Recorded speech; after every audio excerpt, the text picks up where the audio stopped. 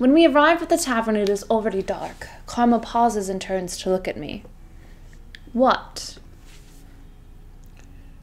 You have a nice smile, Princess Rosaria. I'm glad I could make you laugh.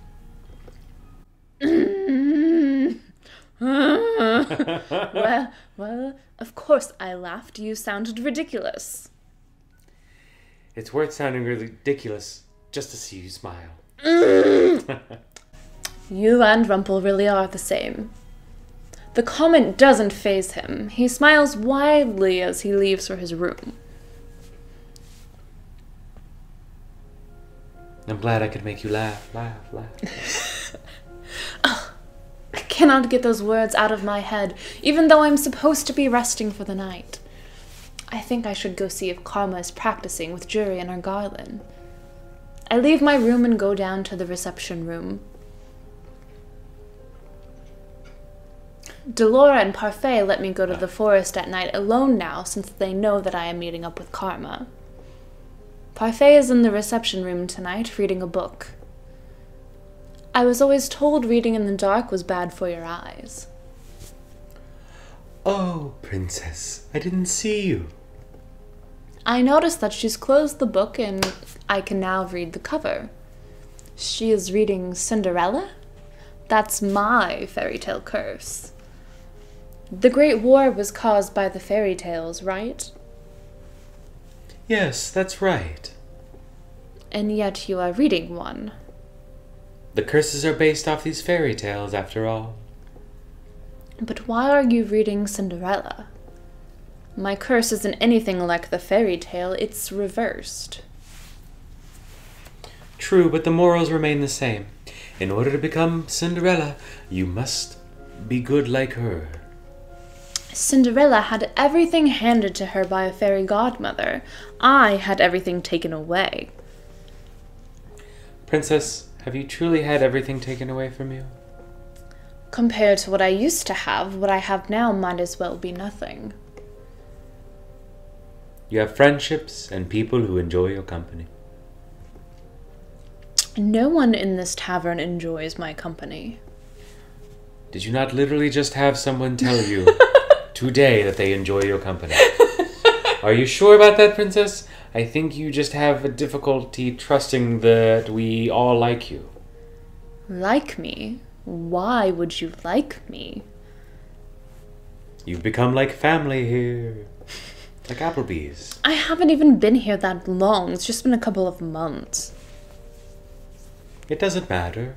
Everyone here at the Margin is family. Family. Family. What is this word? you are saying that everyone at the margin is like family? Like family. Princess, you are one of my boarders. You're more than just a regular here. You live here with us. So, like I said, you're family, family. I speak more with the people here than I have ever spoken to my own family. Family.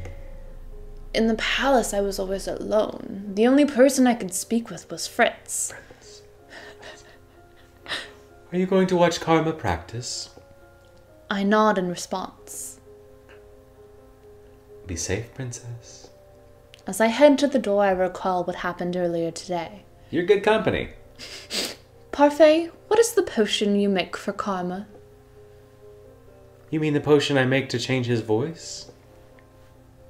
He begged me to help him when he first designed his disguise. Karma makes a beautiful woman, but he didn't think the illusion was complete without con- convincing voice. You know how picky he is. Mm. Something else on your mind, Princess? Karma hides his curse, but you must know the conditions for breaking it, don't you? Parfait does not answer. Or are you also keeping it a secret?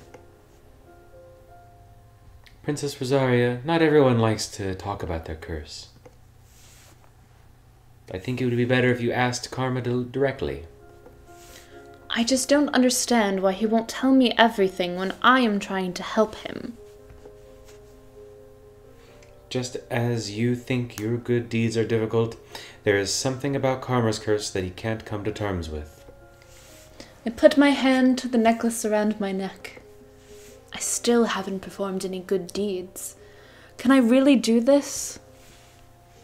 I'm going now. I walk out the front door and into the forest.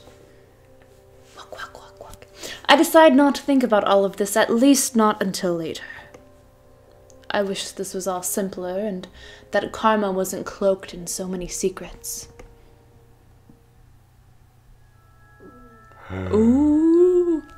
Mother, I went to town today. Oh? I told you not to go into town. Did father take you? He told me that it would be fun.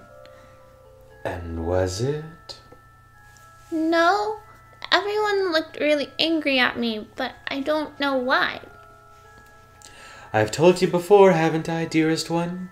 The townsfolk are jealous of you. Je- jealous?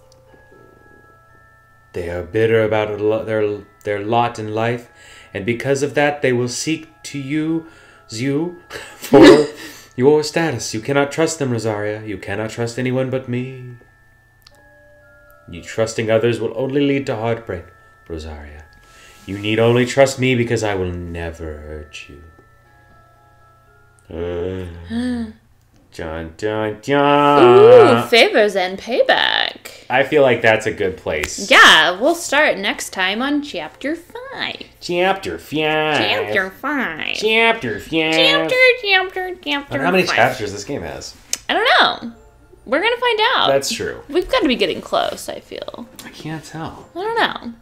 Bye. Goodbye!